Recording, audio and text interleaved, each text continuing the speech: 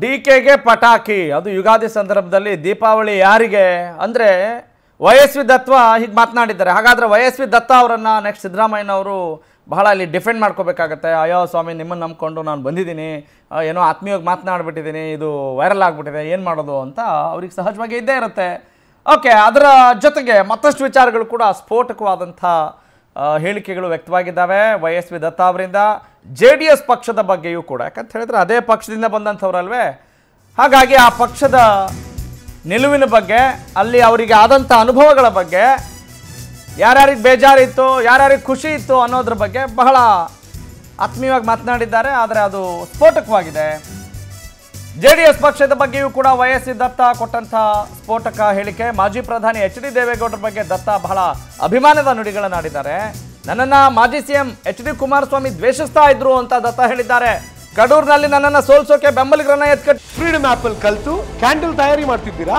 ಹಾಗಾದ್ರೆ ನಿಮ್ಮ ಕ್ಯಾಂಡಲ್ ಗಳನ್ನ ಒಂದು ಕೋಟಿಗೂ ಹೆಚ್ಚು ಫ್ರೀಡಮ್ ಆಪ್ ಬಳಕೆದಾರರಿಗೆ ಯಾವುದೇ ಖರ್ಚಿಲ್ಲದೆ ಮಾರಾಟ ಮಾಡಿ. ನಾನು ಗೆದ್ದು ಶಾಸಕನಾಗಿದ್ದು ಕುಮಾರಸ್ವಾಮಿಗೆ ಇಷ್ಟ ಆಗಲಿಲ್ಲ. ಜೆ ಡಿ ಎಸ್ ಪಕ್ಷದ ಕುರಿತು ಸ್ಫೋಟಕ ಮಾಹಿತಿ ಬಹಿರಂಗಪಡಿಸಿದ್ದಾರೆ ಹಿರಿಯ ನಾಯಕ ವೈಎಸ್ವಿ ದತ್ತ. ನೋಡಿ, ಬಹಳ ಹಿರಿಯ ರಾಜಕಾರಣಿ ದೇವೇಗೌಡರದ್ದು ನನ್ನದು ಐವತ್ತು ವರ್ಷಗಳ ಸಂಬಂಧ ಕಣ್ರಿ. ಕುಮಾರಸ್ವಾಮಿಗೆ ಮೊದಲಿಂದಲೂ ನನ್ನ ಮೇಲೆ ಒಂದು ರೀತಿ ದ್ವೇಷ ಆಯಿತು. ಪಕ್ಷದ ಒಳಗೆ ಇದ್ದು ನನ್ನನ್ನು ಸೋಲಿಸಿ ಅಂತ ಹೇಳಿಬಿಟ್ರು. ಬಹಳ ಘಾಸಿ ಆಗುತ್ತೆ ನೋವಾಗುತ್ತೆ. ಕ್ಷೇತ್ರದಲ್ಲಿ ಅವರ ಬೆಂಬಲಿಗರಿಗೆ ನನ್ನನ್ನು ಸೋಲ್ಸಿ ಎಂದಿದ್ರು ರೀ. ಇದೆಲ್ಲ ಒಪ್ಪುವಂಥ ಮಾತಾ. ದೇವೇಗೌಡರು ಬಹಳ ಆತ್ಮೀಯರು. ವಿಧಾನಸಭೆಯಲ್ಲಿ ನನ್ನ ಪಕ್ಕನೇ ಕುಳಿತುಕೊಳ್ಳೋರು. ನೋಡಿ, ಅಸೆಂಬ್ಲಿಯಲ್ಲಿ ನಾನು ಉಪನಾಯಕ, ಅವರು ನಾಯಕ. ಆದರೆ ಅವರಿಗೆ ಇಷ್ಟ ಆಗ್ತಾ ಇರಲಿಲ್ಲ ನಾನು. ಹೆಚ್ಚಿನ ದಿನಗಳಲ್ಲಿ ಕುಮಾರಸ್ವಾಮಿ ಗೈರಾಗ್ತಾ ಇದ್ರು. ಗೈರಾಜರಾಗೇ ಇರ್ತಾ ಇದ್ರು, ಬರ್ತಾ ಇರಲಿಲ್ಲ. ಪ್ರತಿದಿನ ಎಲ್ಲಿ ವಿಧಾನಸಭೆಗೆ ಬರ್ತಾ ಇದ್ರು ಹ್ಞೂ ಬರ್ತಾ ಇರಲಿಲ್ಲ. ಆಗ ಪಕ್ಷವನ್ನು ನಾನು ಡಿಫೆಂಡ್ ಮಾಡ್ಕೊಳ್ತಾ ಇದ್ದೆ ಸಿದ್ದರಾಮಯ್ಯನ ವೈಯಕ್ತಿಕವಾಗಿ ಅಟ್ಯಾಕ್ ಮಾಡು ಅಂತ ಇದ್ರು. ನಾನು ಸಿದ್ದರಾಮಯ್ಯ ಮೇಲೆ ವೈಯಕ್ತಿಕವಾಗಿ ದಾಳಿ ಮಾಡಲ್ಲ ಅಂತ ಹೇಳ್ತಾ ಇದ್ದೆ. ಅದೆಲ್ಲ ಅವರಿಗೆ ಬೇಜಾರಾಗ್ತಾ ಇತ್ತು. ವಿಧಾನಸಭೆಯಲ್ಲಿ ನನ್ನ ಪಕ್ಕನೇ ಕೂತ್ಕೊಂಡು ಅವರು ಹೇಳ್ತಾ ಇದ್ರು, ಪ್ರತಿದಿನ ಬರ್ತಿರ್ಲಿಲ್ಲ, ನಾನು ಸಿದ್ದರಾಮಯ್ಯನ ಮೇಲೆ ಅಟ್ಯಾಕ್ ಮಾಡಬೇಕು ಅಂತ ಅವ್ರು ಬಯಸ್ತಾ ಇದ್ರು, ಆದರೆ ನಾನು ಮಾಡಲಿಲ್ಲ. ವೈಯಕ್ತಿಕವಾಗಿ ದ್ವೇಷ ಮಾಡಿ ಯಾವ ಸಾಧನೆ ಮಾಡಬೇಕಾಗಿಲ್ಲ ರೀ? ಇದು ರಾಜಕಾರಣ, ಪಕ್ಷಕ್ಕೆ ಸಂಬಂಧಪಟ್ಟ ಹಾಗೆ, ಜ ಅಭಿವೃದ್ಧಿಗೆ ಸಂಬಂಧಪಟ್ಟ ಹಾಗೆ ಏನಾದರೂ ಲೋಪದೋಷಗಳಿದ್ದರೆ ಮಾತನಾಡ್ಬೋದು. ಇಷ್ಟ ಇಲ್ಲದೆ ಇದ್ದರೆ ಉಪನಾಯಕ ಸ್ಥಾನಕ್ಕೆ ರಾಜೀನಾಮೆ ಕೊಡ್ತೀನಿ. ವೈಯಕ್ತಿಕವಾಗಿ ಸಿದ್ದರಾಮಯ್ಯ ಅವ್ರನ್ನ ನಾನು ಟೀಕೆ ಮಾಡಲ್ಲ. ಓಕೆ, ಅಂದರೆ ಒಂದು ರೀತಿ ಎಥಿಕ್ಸ್ ಇಟ್ಕೊಂಡು ಇವರು ಚುನಾವಣೆ ಮಾಡ್ಕೊಂಡು ಬಂದಂಥವ್ರು ವಯಸ್ವಿ ದತ್ತ ಧರ್ಮೇಗೌಡ ಭೋಜೇಗೌಡನ ನನ್ನ ವಿರುದ್ಧ ಎತ್ಕಟ್ಟಿದ್ರು. ದತ್ತನನ್ನು ಸೋಲಿಸಿ ಅಂತ ಅವ್ರಿಗೆ ಹೇಳಿ ಕಳುಹಿಸಿದ್ರು. ಆದರೂ ಕ್ಷೇತ್ರದ ಜನ ಗೆಲ್ಲಿಸಿ ನನ್ನನ್ನು ಎಂ ಎಲ್ ಎ ಮಾಡಿದರು. ನಾನು ಗೆದ್ದಿದ್ದು ಕುಮಾರಸ್ವಾಮಿಗೆ ಇಷ್ಟ ಆಗಲಿಲ್ಲ. ನನ್ನ ಮೇಲೆ ಒಳ್ಳೆ ಒಪಿನಿಯನ್ನೇ ಇಲ್ಲ ಅವರಿಗೆ. ಇನ್ನು ಹೆಂಗೆ ಇಷ್ಟ ಆಗತ್ತೆ ಹೇಳಿ ಅನ್ನುವ ಥರದಲ್ಲಿ ಮಾತನಾಡಿದ್ದಾರೆ. ಎಚ್ ಡಿ ದೇವೇಗೌಡರು ತುಂಬ ಒತ್ತಾಯಿಸಿದ್ದಕ್ಕೆ ಉಪನಾಯಕನನ್ನಾಗಿ ಮಾಡಿದರು. ಧರ್ಮೇಗೌಡ, ಭೋಜೇಗೌಡ್ರನ್ನ ಭೋಜೇಗೌಡ್ರನ್ನ, ಧರ್ಮೇಗೌಡ್ರನ್ನ ನನ್ನ ವಿರುದ್ಧ ಎತ್ಕಟ್ಟಿ ನನಗೆ ಸೋಲಿಸಿ ಅಂತ ಹೇಳ್ತಾರೆ ಆ ಕ್ಷೇತ್ರದಲ್ಲಿ. ನನಗೆ ನೋವಾಗಲ್ವಾ? ನನಗೆ ನೋವಾಗಬಾರ್ದಾ? ನಿಜ, ಬಹಳ ಸೂಕ್ಷ್ಮವಾಗಿದ್ದವರು ಒಬ್ಬ ಮೇಸ್ಟ್ರು ಈ ಕರೋನಾ ಟೈಮಲ್ಲಂತೂ ಮಕ್ಕಳಿಗೆಲ್ಲ ಉಚಿತವಾಗಿ ಪಾಠ ಹೇಳಿ ಅವರ ಒಂದು ಕಾಳಜಿ ಮೆರೆದಿದ್ರು ವಯಸ್ ದತ್ತ ಹೀಗಾಗಿ ಅವ್ರಿಗೆ ಅವ್ರದ್ದೇ ಆದಂಥ ಒಂದು ಹಿನ್ನೆಲೆ ಇದೆ. ಅಲ್ಲ ರೀ, ನಾನು ಸಿದ್ಧಾಂತ ಅಂತ ನೋಡೋನು. ವೈಯಕ್ತಿಕವಾಗಿ ಯಾರ ಮೇಲೂ ದ್ವೇಷ ಮಾಡಲ್ಲ. ವೈಯಕ್ತಿಕವಾಗಿ ದ್ವೇಷ ಮಾಡಿ ಏನ್ರೇ ಆಗಬೇಕಾಗಿದೆ ಅನ್ನೋ ಮಾತುಗಳನ್ನು ಹೇಳ್ತಾ ಇದ್ರು. ಡಿ ಕೆ ಶಿವಕುಮಾರ್ದೊಂದು ಪಾರ್ಟ್ ಆಯಿತು. ಈಗ ಕುಮಾರಸ್ವಾಮಿ ಅವರ ವಿರುದ್ಧವಾಗಿ ಒಂದಷ್ಟು ಮಾತನಾಡಿದ್ದಾರೆ. ಅಂದರೆ ವಿರುದ್ಧ ಅಂದರೆ ನಮಗೆ ಇಲ್ಲಿ ವಿರುದ್ಧ ಅನ್ಸುತ್ತೆ. ಅಲ್ಲಿ ಏನು ನಡೀತು ಅನ್ನೋದನ್ನು ಅವ್ರು ಹೇಳ್ತಾ ಇದ್ದಾರೆ. ಎಚ್ ಡಿ ದೇವೇಗೌಡರು ನನ್ನ ಮೇಲೆ ಬಹಳ ಅಭಿಮಾನ ಇಟ್ಕೊಂಡಿದ್ರು. ನನಗೂ ಅವ್ರ ಮೇಲೆ ಅಭಿಮಾನ ಇದೆ. ಬಹಳ ಐವತ್ತು ವರ್ಷಗಳಿಂದ ಅವ್ರ ಜೊತೆಗೆ ನಾನು ಇದ್ದೀನಿ. ಅಂದರೆ ಅವ್ರ ಸಂಬಂಧ.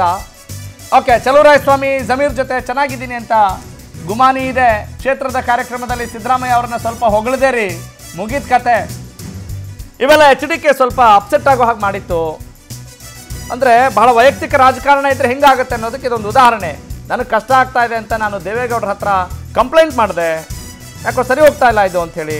ಐ ಆಮ್ ಹೆಲ್ಪ್ಲೆಸ್ ನಾನು ಅಸಹಾಯಕನಾಗಿದ್ದೇನೆ. ನನ್ನ ಮಾತು ಅವನು ಕೇಳಲ್ಲ ಅಂದರು. ಚಲುವರಾಯ ಸ್ವಾಮಿ ಜಮೀರ್ ಜೊತೆ ಚೆನ್ನಾಗಿದ್ದೀನಿ ಅಂತ ಅವರು ಗುಮಾನಿ ವ್ಯಕ್ತಪಡಿಸಿದ್ರು. ಕ್ಷೇತ್ರದ ಕಾರ್ಯಕ್ರಮದಲ್ಲಿ ಸಿದ್ದರಾಮಯ್ಯ ಅವರನ್ನು ಹೊಗಳದೆ.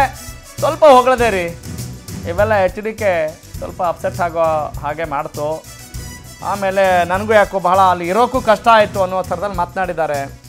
ದೇವೇಗೌಡ್ರ ಹತ್ರ ಕಂಪ್ಲೇಂಟ್ ಮಾಡ್ತಾರೆ, ಈ ವಿಚಾರವನ್ನು ಹೇಳ್ತಾರೆ. ಆದರೆ ಅವ್ರೇನು ಹೇಳ್ತಾರೆ? ಏ, ನಾನು ಅಸಹಾಯಕನಾಗ್ಬಿಟ್ಟಿದ್ದೀನಿ ನನ್ನ ಮಾತು ಅವ್ನು ಕೇಳಲ್ಲ ಅಂತ ಹೇಳ್ಬಿಟ್ರು. ಇದು ಮ್ಯಾಟ್ರು. ಅವಾಗ ಇನ್ನೇನು ಮಾಡೋಣ? ದೇವೇಗೌಡರು ಅಸಹಾಯಕರಾದ ಮೇಲೆ ನಾನು ಇನ್ನೇನು ಮಾಡಬೇಕು? ನೀವೆಲ್ಲ ಒಳ್ಳೆ ಹುಡುಗರು, ಕ್ಷೇತ್ರದಲ್ಲಿ ಒಳ್ಳೆ ಹೆಸರು ಇಟ್ಕೊಂಡಿದ್ದೀರಿ. ಹಂಡ್ರೆಡ್ ಪರ್ಸೆಂಟ್ ಗೆಲ್ತೀರಿ, ಪಕ್ಷಕ್ಕೆ ಒಳ್ಳೆ ಅಸೆಟ್ ಆಗ್ತೀರಿ ಒಳ್ಳೆ ಅಸೆಟ್ ನೀವು, ಒಳ್ಳೆ ಆಸ್ತಿ ನೀವು ಪಕ್ಷಕ್ಕೆ ಅಂತ ಹೇಳಿದರು.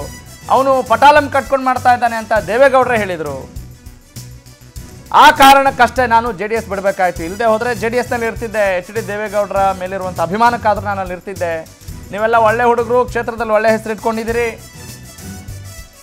ಹಂಡ್ರೆಡ್ ಪರ್ಸೆಂಟ್ ಗೆಲ್ತೀರಿ, ಪಕ್ಷಕ್ಕೆ ನೀವು ಒಂದು ಆಸ್ತಿ ಇದ್ದ ಹಾಗೆ ಅನ್ನೋ ಮಾತುಗಳನ್ನು ಅವ್ರು ಆಡಿದರು. ನನ್ನ ಕ್ಷೇತ್ರದಲ್ಲಿ ಕುರುಬರು, ಲಿಂಗಾಯತರು ಮೆಜಾರಿಟಿ ಇರೋದು. ಅಲ್ವೇ? ಹೀಗಾಗಿ ಅವ್ರನ್ನೆಲ್ಲ ನಾನು ಮನಸೆಳಿಬೇಕಾಗತ್ತೆ, ಮತಗಳನ್ನು ಗಿಟ್ಟಿಸ್ಕೊಳ್ಬೇಕು ಅಂತ ಹೇಳಿದ್ರು. ಐವತ್ತು ಸಾವಿರ ಲಿಂಗಾಯತರಿದ್ದಾರೆ ಐವತ್ತು ಸಾವಿರ ಕುರುಬರಿದ್ದಾರೆ ಬ್ರಾಹ್ಮಣ ಜಾತಿಯವರದ್ದು ಇರೋದು ಎಷ್ಟು ಗೊತ್ತಾ? ಬರೀ ಮುನ್ನೂರು ಓಟು. ವೆರಿ ಇಂಟ್ರೆಸ್ಟಿಂಗ್ ಅಲ್ವೇ? ಅಂದರೆ ಆ ಕ್ಯಾಂಡಿಡೇಟು ಅವರು ಬ್ರಾಹ್ಮಣ ಸಮುದಾಯದ ಅಭ್ಯರ್ಥಿ ಆದರೂ ಕೂಡ ಅಲ್ಲಿ ಬೇರೆ ಎಲ್ಲ ಜನರ ಜೊತೆ ತುಂಬ ಆತ್ಮೀಯವಾಗಿರ್ಬೇಕಾಗತ್ತೆ. ಮುಸಲ್ಮಾನರು ಕಾಂಗ್ರೆಸ್ ಪಾರ್ಟಿಗೆ ಓಟ್ ಹಾಕ್ತಾರೆ. ಲಿಂಗಾಯತರೆಲ್ಲ ಬಿ ಜೆ ಪಿಗೆ ಓಟ್ ಹಾಕ್ತಾರೆ. ಅಂದರೆ ಯಾರು ಯಾರಿಗೆ ಬೇಕಾದ್ರೂ ಓಟ್ ಹಾಕ್ಬೋದು. ಅವ್ರು ಹೇಳಿರೋದು. ಅಂದ್ರೆ ಹಿಂಗಿದೆ. ಜೆ ಡಿ ಎಸ್ಗೆ ಮುಸ್ಲಿಮ್ರು ಓಟ್ ಹಾಕಲ್ಲ ಅಂತ. ಮುಸ್ಲಿಂ ಓಟ್ ಹಾಕಲ್ಲ ಅಂತ ಅಂದರು ಕ್ಷೇತ್ರದವರು. ಕಡೂರು ಕ್ಷೇತ್ರದಿಂದ ಪ್ರಜ್ವಲ್ಗೆ ಐವತ್ತು ಸಾವಿರ ಲೀಡ್ ಕೊಡಿಸಿದ್ದೆ ನಾನು. ಇದನ್ನೆಲ್ಲ ಮರ್ತ್ಬಿಟ್ರಲ್ಲ ಅವರು. ಅನ್ನೋ ಬೇಜಾರು. ದೇವೇಗೌಡರು ಎಂ ಪಿ ಆದಾಗಲೂ ಕೂಡ ದೇವೇಗೌಡರಿಗೆ ಲೀಡ್ ಕೊಡಿಸಿದ್ದೆ. ಅವೆಲ್ಲ ಸುಮ್ಮನೆ ಕೊಡ್ಸೋಕ್ಕಾಗತ್ತಾ? ಅವ್ರ ಮೇಲೆ ಅಭಿಮಾನ ಇದೆ, ಪಕ್ಷಕ್ಕಾಗಿ ದುಡ್ದಿದ್ದೀನಿ. ಈಗ ನೋಡಿ, ಭವಾನಿ ಕೇಸ್ ಎಷ್ಟು ರಂಪ ಆಗ್ತಾ ಇದೆ, ರಂಪಾಟ ಆಗ್ತಾ ಇದೆ ಅಂತ. ಭವಾನಿ ಇಶ್ಯೂದಿಂದನೇ ಕುಟುಂಬ ಇಬ್ಬಾಗ ಹೋಗುತ್ತೆ ಅಂತ ದೇವೇಗೌಡರು ಹೇಳಿದರು. ವೆರಿ ಇಂಟ್ರೆಸ್ಟಿಂಗ್ ನನ್ನ ಕುಟುಂಬ ಒಡೆದ್ಕೊಂಡು ಹೋಗುತ್ತೆ ಅಂತ ಅವರೇ ಒಪ್ಕೊಂಡಿದ್ರು. ಕುಟುಂಬ ರಾಜಕಾರಣವನ್ನು ನಾನು ಸಪೋರ್ಟ್ ಮಾಡಲ್ಲ. ಶ್ರವಣ ಬೆಳಗಳ ಅವರ ಅಳಿಯನ ತಮ್ಮ. ಇಲ್ಲಿ ತಮ್ಮಣ್ಣ ಬೀಗರು. ಇಲ್ಲಿ ರೇವಣ್ಣ ಮಗ ಪ್ರಜ್ವಲ್ಲು, ಸೂರಜ್ ಇನ್ನು ಭವಾನಿ, ನಿಖಿಲ್.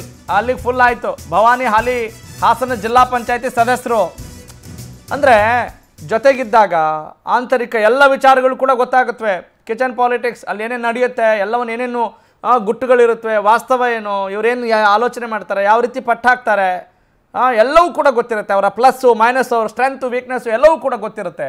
ಹಾಗೆ ಗೊತ್ತಿದ್ದಾಗ ಈ ರೀತಿಯಾದಂಥ ಹೇಳಿಕೆಗಳು ಹೊರಗಡೆ ಬಂದಾಗ ಏನಾಗುತ್ತೆ? ಅಂದರೆ ಎಲ್ಲೆಲ್ಲಿ ಸರಿ ಇಲ್ವೋ ಅದನ್ನು ಸರಿ ಮಾಡ್ಕೊಳ್ಬೇಕಾಗತ್ತೆ. ಓಕೆ ಅಸಲಿಗೆ ಅವ್ರು ಮಾತನಾಡಿದ್ದು ಯಾವ ರೀತಿ ಇದೆ? ಬನ್ನಿ ಗಮನಿಸೋಣ. ನನಗೆ ತುಂಬ ನನ್ನ ನಾನು ಅವ್ರದ್ದು ಐವತ್ತು ವರ್ಷ ರಿಲೇಷನ್ಶಿಪ್ ಆಲ್ಮೋಸ್ಟ್ ಅವರಂತೂ ನನ್ನ ಹೆಣಕ್ಕೆ ನೀನೇ ಬೆಂಕಿ ಇಡಬೇಕು.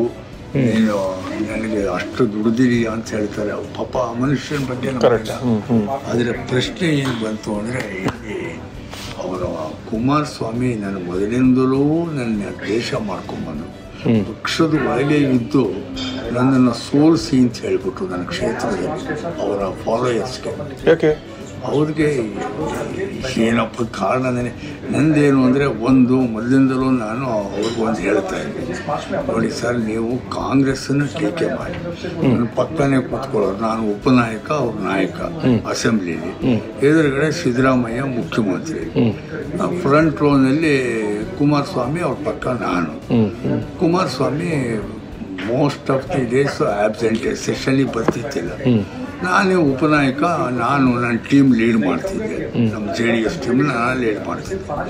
ಅವಾಗ ಅವರು ನನಗೆ ನೀನು ಸಿದ್ದರಾಮಯ್ಯನ ಪರ್ಸ್ನಲ್ ಆಗಿ ಅಟ್ಯಾಕ್ ಮಾಡಬೇಕು ಅನ್ನೋರು. ನಾನು ಸಿದ್ದರಾಮಯ್ಯನ ಪರ್ಸ್ನಲ್ ಅಟ್ಯಾಕ್ ಮಾಡಲ್ಲ. ಅದಕ್ಕೆ ಅವರು ನಾನು ಹೇಳಿದೆ ನಾನು ಕಾಂಗ್ರೆಸ್ ಸರ್ಕಾರದ ಪಾಲಿಸಿ ಪ್ರೋಗ್ರಾಮ್ ಅನ್ನು ತಗೊಂಡು ಟೀಕೆ ಮಾಡ್ಬೋದು. ವೈಯಕ್ತಿಕವಾಗಿ ಸಿದ್ದರಾಮಯ್ಯ ಟೀಕೆ ಮಾಡಲ್ಲ. ಮೂರೊಬ್ಬರು ನಾನು ಸಿದ್ದರಾಮಯ್ಯ ನಮ್ಮ ಪಾರ್ಟಿ ಪ್ರೆಸಿಡೆಂಟ್ ಆಗಿದ್ದಾಗ ಅವರಾಗೆ ಜನರಲ್ ಸೆಕ್ರೆಟರಿ ಆಗಿ ಅವರಿಗೆ ಪ್ರೆಸ್ ಸೆಕ್ರೆಟರಿ ಆಗಿ ಕೆಲಸ ಮಾಡಿದ್ರು ನನ್ನ ಅವರ ಸಂಬಂಧ ಚೆನ್ನಾಗಿದೆ. ಆದ್ರಿಂದ ನಾನು ವೈಯಕ್ತಿಕವಾಗಿ ನಾನು ದ್ವೇಷ ಮಾಡ್ಕೊಂಡು ಆ ಸಾಧನೆ ಮಾಡಬೇಕಾದಿಲ್ಲ ನೀವು ಇಷ್ಟಪಡಿದರೆ ಬೇಕಾದ್ರೆ ನಾನು ಉಪನಾಯಕ ಸ್ಥಾನಕ್ಕೆ ರಾಜೀನಾಮೆ ಕೊಡ್ತೀನಿ. ಹಿಂದ್ಗಡೆ ಸೀಟಲ್ಲಿ ಕೂತ್ಕೋತೀನಿ ಆದರೆ ನಾನು ಸರ್ಕಾರ ಟೀಕೆ ಮಾಡ್ತೀನಿ. ಏನೇನು ಹೇಳಬೇಕೋ ಹೇಳ್ತೀನಿ. ಆದರೆ ಇದು ಮಾತ್ರ ನನ್ನ ಕೈಲಾಗಲ್ಲ ಒಂದು ಎರಡನೇದು ನಮ್ಮ main target B J P ನಾನು ಕಾಂಗ್ರೆಸ್ಸಿನ ಟೀಕೆ ಮಾಡಿ ಬಿ ಜೆ ಪಿಯವ್ರು ಖುಷಿ ಮಾಡೋಕ್ಕೆ ನಾನು ತಯಾರಿಲ್ಲ. ನನ್ನ main attack central government B J ಪಿನೂ attack ಮಾಡಬೇಕಾಗುತ್ತೆ ಅದನ್ನು ಮಾಡಿಕೊಂಡು ಅದನ್ನ ಮಾಡೋದಾಗಲ್ಲ ನನಗೆ ಮೊದಲಿಂದಲೂ ಸ್ವಲ್ಪ ನಾನು ಲೆಫ್ಟಿಸ್ಟು.